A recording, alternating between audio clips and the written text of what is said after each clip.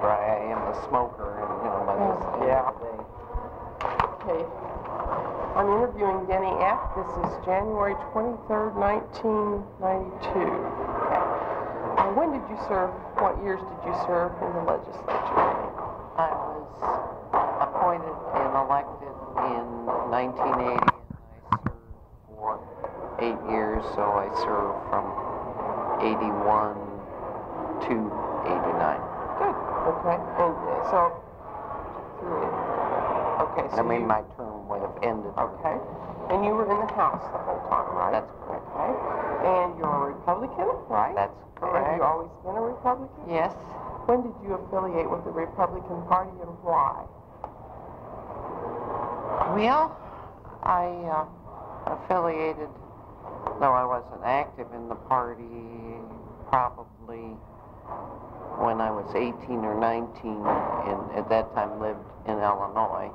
And um, had seen some fairly unusual Democratic uh, politics in the Chicago area. I lived in a suburb, and uh,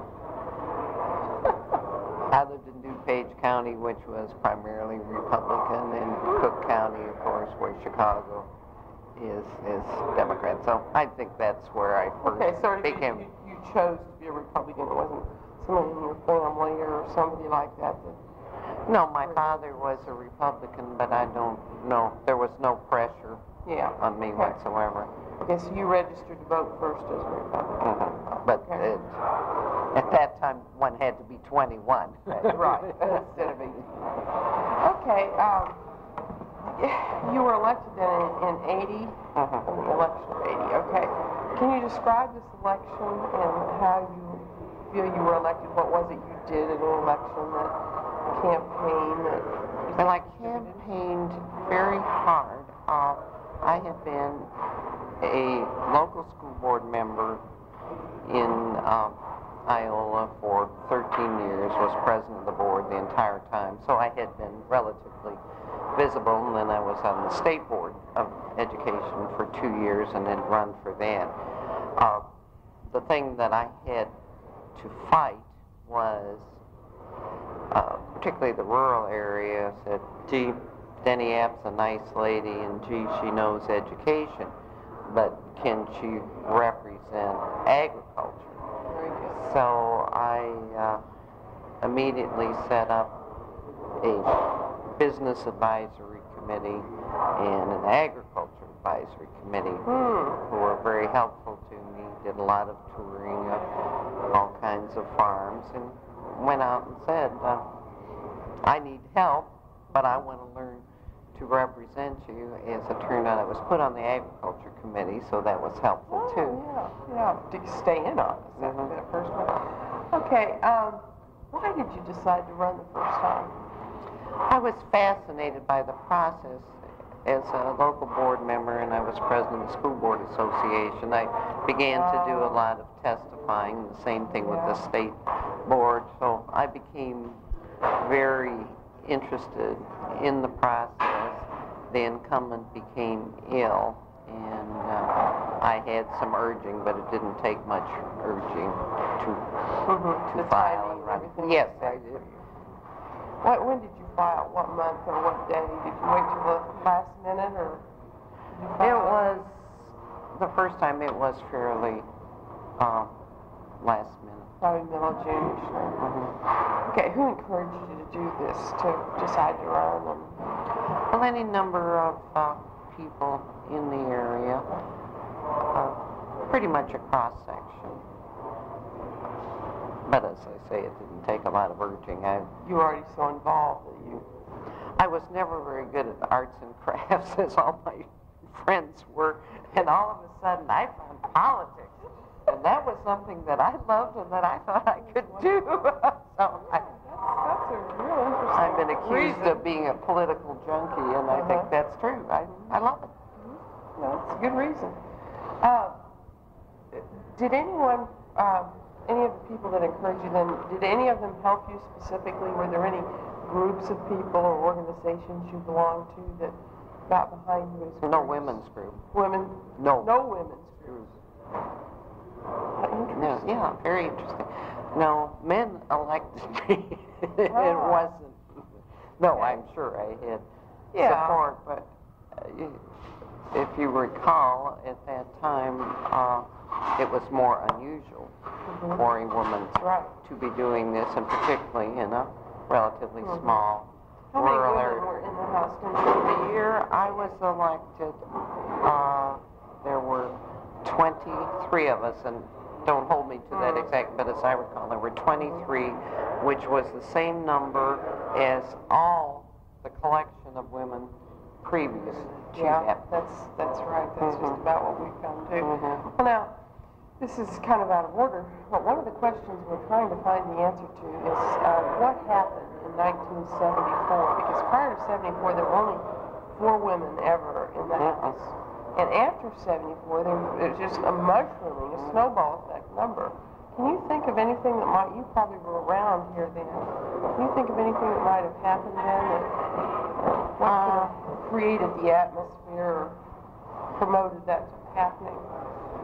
Well, I think it was a time uh, when women began to think we can do something else. And um,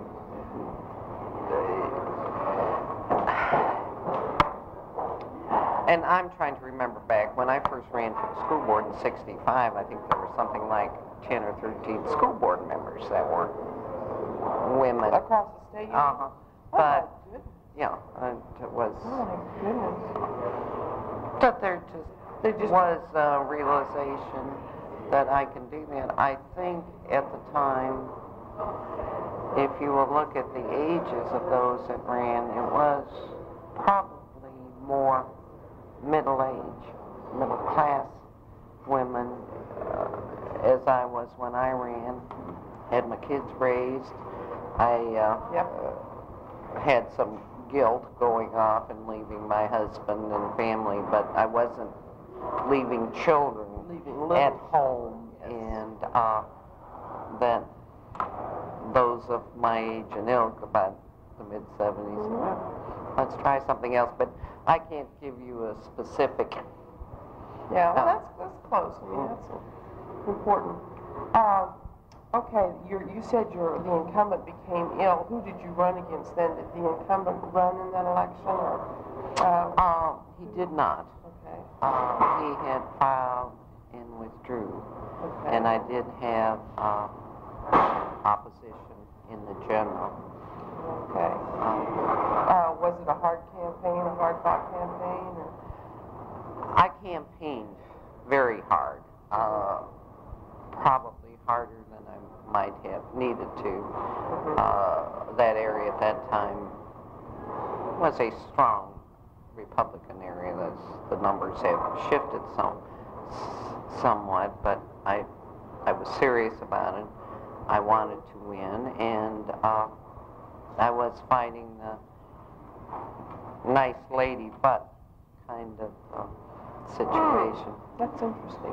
Well, then, you, you ran, did you run against any women at all in the, in your elections as you ran? No, I, uh, the other three times I didn't have any opposition at Oh. all, which was Oh, wonderful because I really am not crazy about campaigning, and it was just wonderful to go around Yeah. and be a stateswoman rather than a camp. But I always uh, attended all the parades and Elsmore Day and Moran Day and all in the off years because I didn't want anyone to ever say she just shows up when she's running for office. And I thought that my constituents had a right to expect to be at those functions, which meant a great deal to them. So Yeah. falls were busy hitting all these. Uh, did you do a lot of door to door you I didn't do any. You didn't do any door to door, okay. Did you use them? Uh, yes, I did. I, I beg your pardon. I did go door to door my first election, and I uh, targeted the independents and Democrats Oh, making a slight assumption that perhaps I had the Republican vote and that Hmm. I needed So the you- crossovers. Uh, not completely, but Mhm. I, and I, I selected registered voters so that I could move more rapidly. And So you really targeted who you wanted to follow? Yes. Did you use the media? Yes, uh, not television. Uh, I used radio and newspaper ads, yard signs, Mm-hmm. uh, and mailings, Mm-hmm. which were personalized. Uh, in that I signed them all. They were all hand addressed envelopes. Didn't do, use labels. And when I went door to door, uh, I'd follow up with a little postcard. Nice to visit with you. Uh, your flowers were pretty. Mm. I tried to make a note when I went back to the car that of something that could be a little Hmm, personal. that's interesting. That takes a lot of work. yes, it does. Uh, I had a good friend who's, who was unfortunate for her because her husband just left her, but it was fortunate for me because she was very much at loose ends and got very involved. Hi. My campaign would drive me when I went door to door, and That, that was nice. And that, yeah, that so was- it sounds terrible. No, Yeah, I told no. her it, it was unfortunate, but the timing was Yeah. good. I, I would kid her about Yeah. it. Well, did she help you in subsequent qu- subsequent Mhm. campaigns? then? Yes. That always helps to have someone like that. Uh, how did you finance your first campaign and campaigns after? Well, you didn't probably have to campaign as hard after. Um, well, as it turned out, I didn't have a primary, and I did uh, one mailing and had some support. I didn't hold a fundraiser because I had been involved under the dome with these other activities, knew several of the PAC people who did contribute. And some women reported they had trouble raising funds, and they thought maybe they had more trouble than the men because they were women. You, didn't experience that. No, no, in fact, I was very fortunate. How did the media treat you? Did any of the newspapers or radio Very well. stations or Very well. They Very well. you and everything? Uh, my editor at home endorsed me, Hmm. and uh, the radio station didn't do endorsements, but were most supportive and were Good. just supportive. Yeah. No, I, I had no trouble in that way Good. whatsoever. Uh, perchance, did a relative or any close friend of yours precede you in the House or the any type of elective office like that that might have influenced you to run or? No, however, my father-in-law, and I'd have to look up the dates, uh, it's got to be 60-some years ago, did serve in the Senate. Oh. But he Did was... you know him? Yeah, I knew him, my he- father. Was before you were, Oh, yeah, and he was alive, dead yeah. before he had already... elected, so he didn't work No. for your campaign. Uh, just, can you describe your district a little bit, and what it was like, what type of, uh, Well, it's um, a primarily rural area. Iola is the largest city, a city of between seven and eight thousand, so it's uh, quite rural. Uh, it's a at that time it was perhaps better than half Republican, quarter Democrat, and quarter independent. I mean, Uh-huh. it, it has shifted. Uh, the people are interesting in that uh, you're almost always damned if you do and damned if you don't. It's about 50% moderate and 50% quite conservative. I mean, in the politics, uh, it has nothing uh to do with it. Mhm. So, uh, but I, I really was always greeted with uh, kindness. Uh, I, one always has uh, a few that are not pleasant, but for the most part, I, I was very comfortable representing them, and I, hopefully they were comfortable with me when they reelected me three times without opposition. Yeah, so. yeah, that's an indication for sure.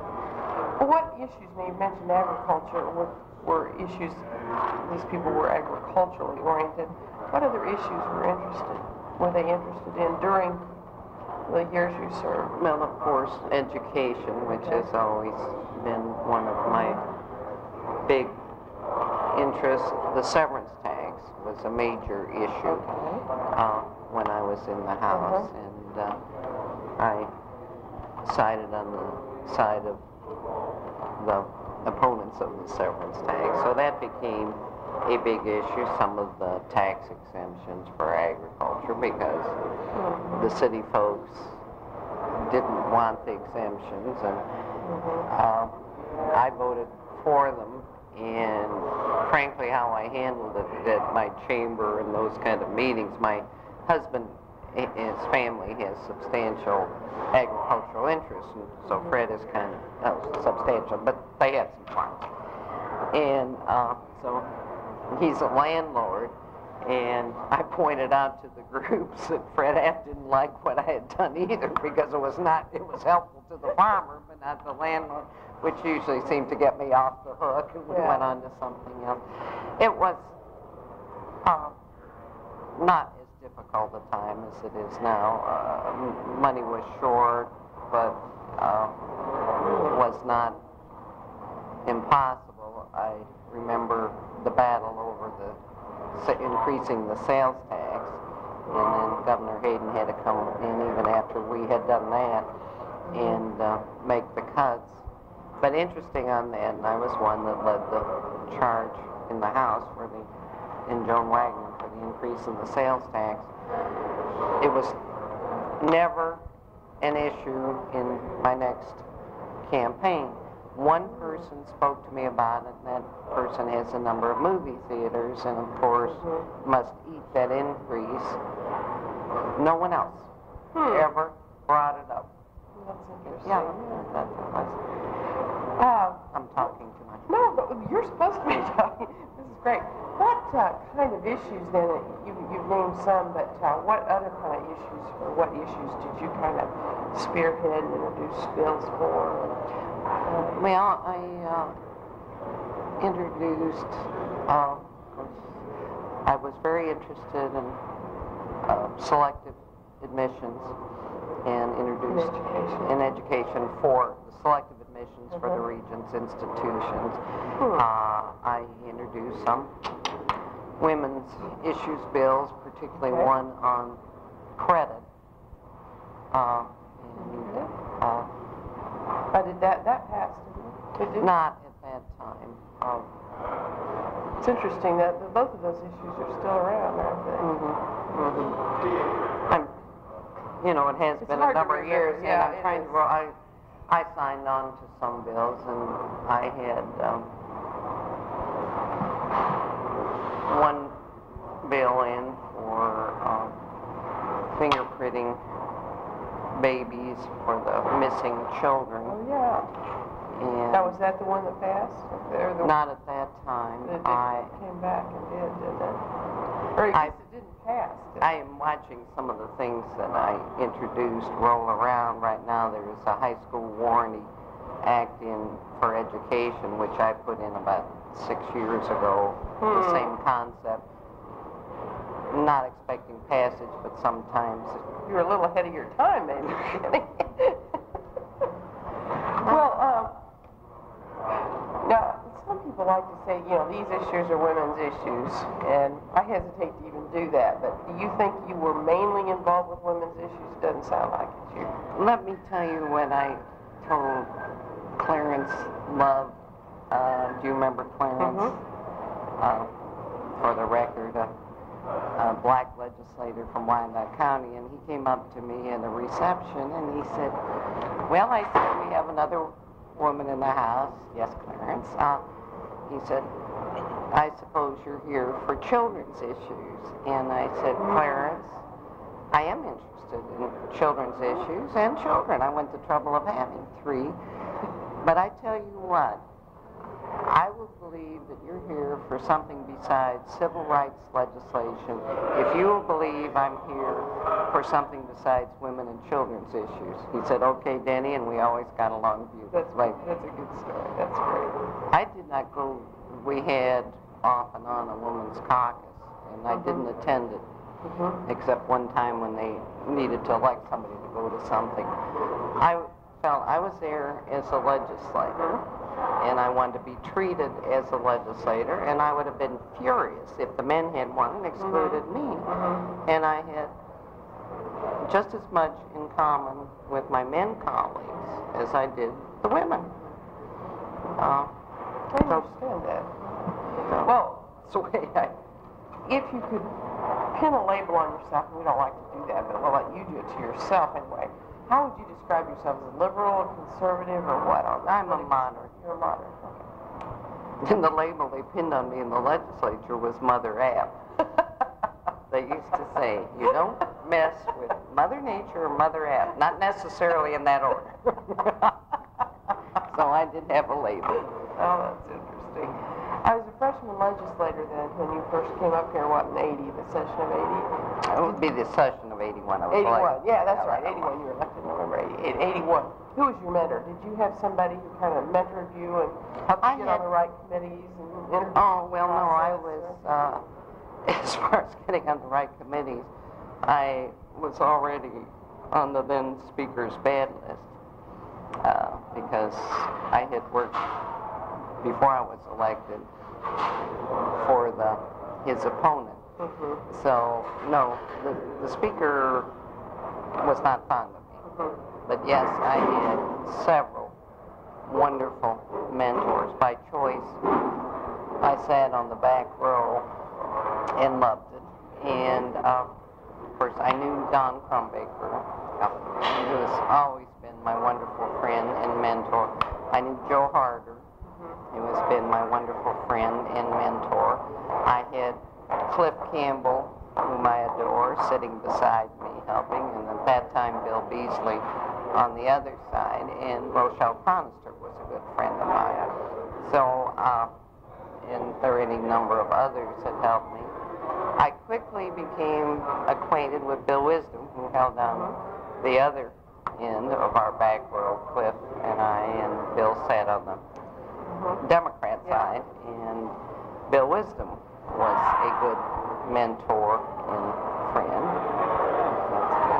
What committees did you serve in? Did you stay on the same committees during the, the eight years or? The first year I was on elections, agriculture, education, and then the first two years. And uh, then when the speaker changed, I did stay on agriculture. I was um, no longer on elections and was uh, appointed chairman of the Legislative Education Planning Committee, which is a joint committee. And so, and then I was on education. Did you hold any other leadership positions? Yeah, I became vice chairman of the House Education Committee and then chairman. And I alternated chairman, vice chairmanship on the Legislative Education Planning Committee because one year Senate and Yeah. the House. Chairmen were there at that time? There weren't very many, were there? At that time, I, I was the only one in the That's what I was thinking. There weren't hardly any others. Um, now, you've already sort of talked about this, but did you participate in any formal, or informal coalitions? Now, you said, talked about the Women's Caucus. Were there any others that you? that I didn't join? oh, yeah, there were a bunch. I, was, I was part of the back row bunch.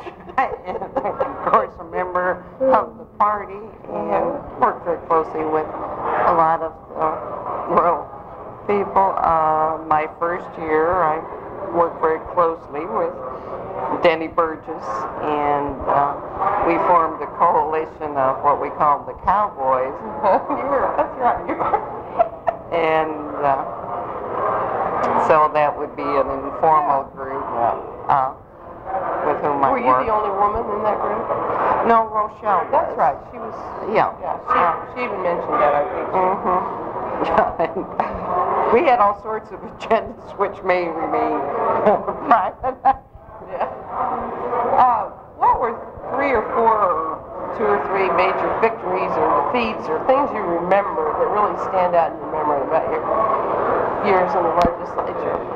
Well, um, as you know, in the legislature, sometimes there are very small victories that mean nothing to anyone else, but you got the bill passed, you got the bill killed. I think the first bill that I got through the process, uh, which was not any kind of a major bill, but it said Representative Apt, and you know it wasn't easy to get it through. And when that was signed, I was What was that bill? it was a bill uh, that had to do with unused property that school districts had, and up to that time, they had to go through this very convoluted process, and this just really allowed school boards to tend to it, which is one, and uh, so that was fun. There was some opposition from the School Board Association. Uh, I did overcome. It had some ups and downs. Uh, Senator Harder happened not to be in committee when my bill came up. The bill got amended and killed. He came in. Another friend on the Senate committee said, we killed Denny's bill, and it somehow got revived and passed. so that was a major. I mean, you know, that was exciting. remember. Yeah, yeah. You do learn the process by Well, I, participating. there are lots of there are more defeats, I think, than victories, but when I would carry school finance and get it off the floor and then get it out of conference committee, that was always a major victory. that was. Somewhat like giving birth. I Oh, mean, yeah, that is major. painful, yes, yes. Uh, why did you end your legislative service? I ran for the Senate and lost. Um, are you a native? I'm going to ask you a few questions about you personally now. We kind of tie this together. And Lots of luck. Are, are you a native of Kansas? No, Where were you born? a suburb of Chicago. Oh, that's right. You where you were. Mhm.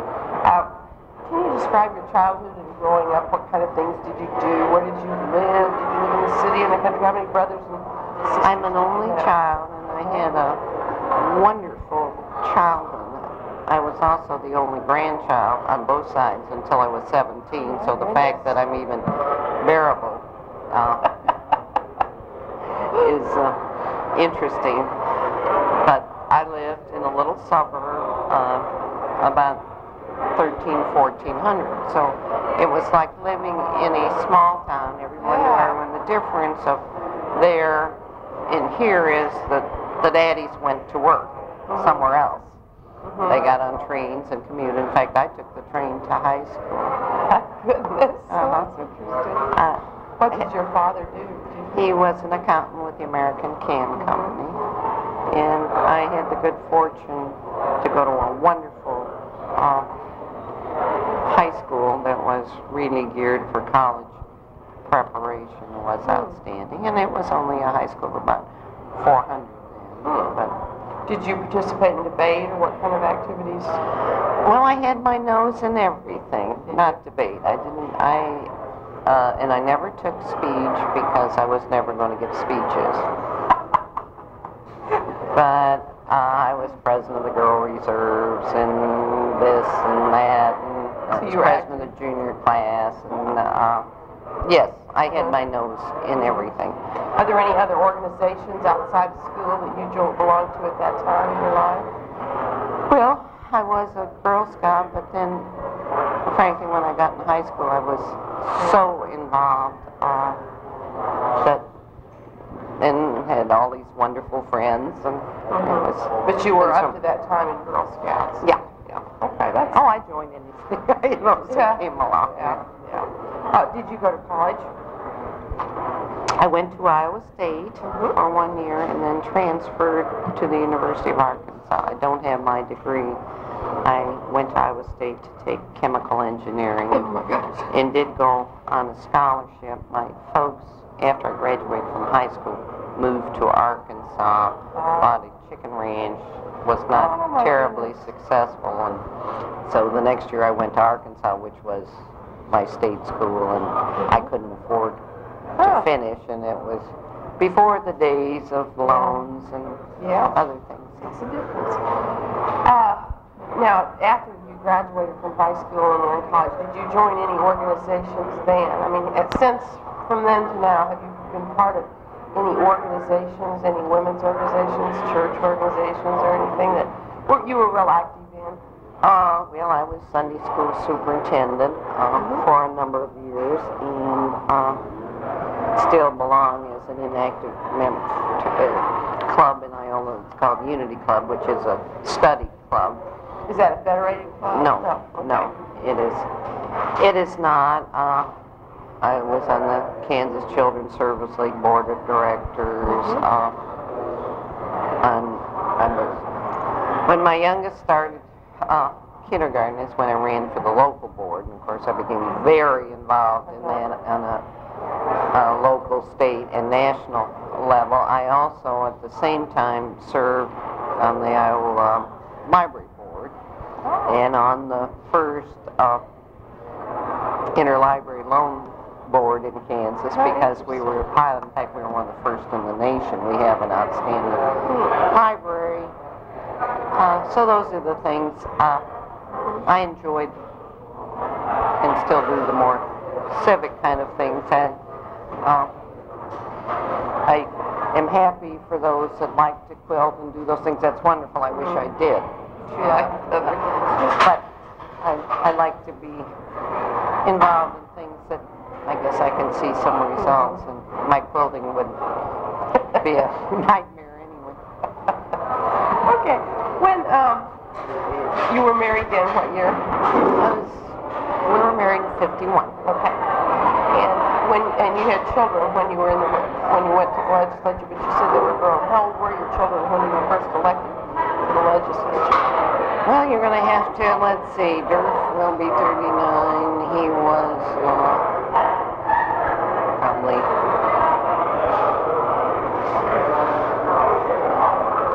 Maybe I should start with Richard. He was 60. He was 20. Our youngest was 20. So our daughter was 23. So uh, our oldest son would have been 26. So they were all grown, Mm. in college or out of the house Yes. anyway. Yes. Okay. And you have two sons and a daughter. That's right. Son on each.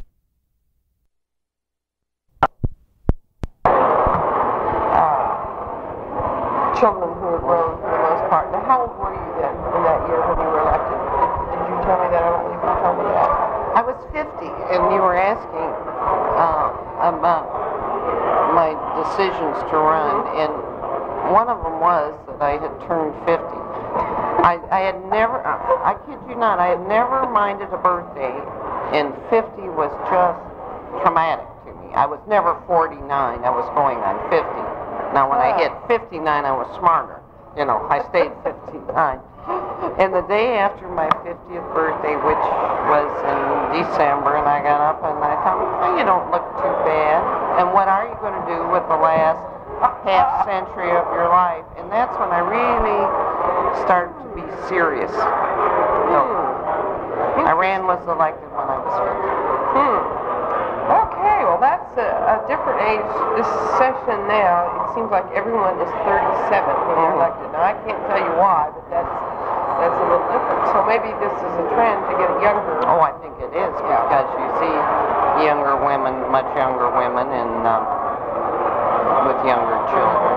And I was certainly not the youngest of those that Yeah. were elected, but um, Well, you were. with me. But you were about average. came uh, down here that first session, did you stay in Topeka? And, oh yeah, and your husband, did he come at all? he came to see me sworn in, and he came up once to go to a K-State basketball game. He has come up very little. I, I would, I had an apartment. I go home weekends, and uh, he is an attorney, and if he had a court case or Yeah. hearing or something, he would come up. But he didn't. He didn't campaign with me, and didn't. He likes to stay home. Okay. Well, know, and he understands that his wife is a gypsy. I mean, Yeah. that's just yeah. He supports you, but he doesn't want to. Yeah, don't, make me get on those airplanes and do all that. Well, do you think that your service in the legislature changed you or your life, or was it your 50th birthday? Well, it's a combination there. Yes, I think it did. It taught me is, with particularly working with constituents, that you don't have to put up with some of the things that the public puts up with. And I know my preposition is on the end. I would call an agency on behalf of a constituent, and I would call and say, "This is Denny Apt," and get put on hold. I would call up then and say, this is Representative Denise Apt, and get right in, and that's not right. Not that legislators shouldn't be accommodated, but the general public. And I suppose I was a much more pleasant person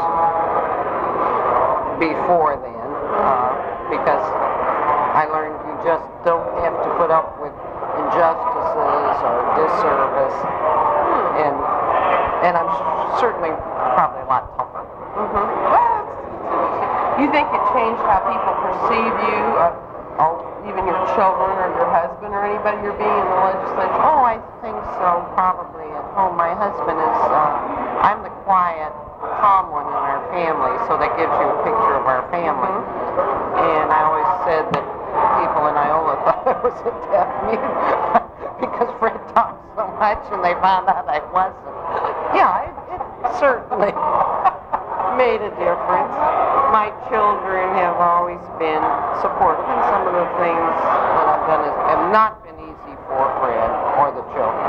You know, I loved what I was doing, but they got some of the backlash. Do you think they they made any sacrifices? Do you feel like it affected them as? Well, by the time I ran for the legislature, they'd had to go through life, going to school with their mother president of the school board, and at that point, they realized that they have a mother with some energy, and they like to see a channel somewhere besides them.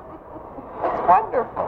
when I lost my election, uh, and you know, this is not fun, but the children would keep calling, and I know they were saying, "What are we going to do with mother?" And when uh, Governor Hayden appointed me as his educational advisor, they were thrilled. You know, it's like, "Oh God, we got a job for mom." The first week I was there, and I was sitting in the conference, and Mike said, um, "You want to say something, then?" No. I can tell you want to say something. I said, "Well, I'm either going to have to sit on the other side of this table, or we're going to rehang these pictures." and Mike laughed to do it. Uh, well, I foolishly told one of the children. Well, then they were on the phone. Oh my God, mother is going to get fired. She's told the governor. you know, not don't. Yeah, yeah. So I think my school board uh, experiences probably were a greater sacrifice for them. They were gone, and it was kind of fun to have mom in the legislature. Yeah, that would be, that'd be, they visit you down here and, Yeah. yeah. Uh, Fred has been always supportive, and he didn't take a lot of flack for decisions that he wouldn't have made, but he's in the courthouse Yeah, and around yeah. the square, and, and I was doing what the man in the family would do. and Yeah, so, I mentioned that's true. Well, do you think women, in your experience, and you were there when there was a big growth in the number of women, do you think women as a whole are good legislators and have been? I mean, as you look at them, not uh, just yourself. I think some are and some aren't. There's some good men legislators, and there's some poor ones. And Then being I, female has nothing to I do don't think it. it has a thing to do with it. I think it is the person. The only thing that a woman, and it may be better now, but suffered from at first is somehow we were expected to know everything about everything. If we didn't, well, that's, you know, kind of a dumb woman. Whereas a dumb man was excused. you well, that's not his field or, Mhm. you know, but I think some of that's changing. You think it is changing? I think In so. what but, way? Well, hopefully, as as everyone grows and experiences, I love that grows, uh, that they are learning that people are people. Yeah. The way I've always felt, and that's the way I was treated. I will say my men colleagues were wonderful to me. When I walked out the door, they treated me as a lady, and I was not someone that didn't want my coat held or the door open. When I was on the floor, I was one of the fellows, and that's the way they treated me, though they were very careful not to tell off-color jokes or use uh, obscene language. But you know, they, they treated me like one of them, and I had to be tough, I had to be tough. If they had to be tough, I knew they'd keep their word, and they knew I would. So, they were great. Well, what do you think is going to happen next with women in the legislature? Do you think the number will keep growing, or Yes, no? It's going to be interesting in the next few years. and um, just as I would say about men, if there isn't a good mix of women and background and experience and professions, then the legislature won't profit from that any more than we need all attorneys or all farmers or all, uh, in the case of men. Well, it's probably really true. Is there anything, any questions I didn't ask you that you were expecting me to, and I No, I hadn't, I hadn't thought about it, I knew I'd talk No, too much anyway. This is great, it really, um, we're talking about Kansas specifically now. and not being a native Kansan, but it is my theory that women are well accepted in positions of authority in Kansas, because Kansas was a pioneer state and the women plowed and uh, farmed and did everything because they had to. But I also believe that in Kansas, the attitude is do it. Don't make a big to-do about it, or you're not the token woman, or this and that. If you can do it, let's do it. And at the time I was elected to legislature, we had in Iola the first woman county commissioner,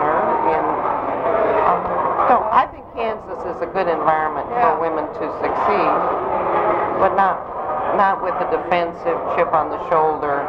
I need to be allowed to do this because I'm a woman. Do it, and I think you will be accepted. End of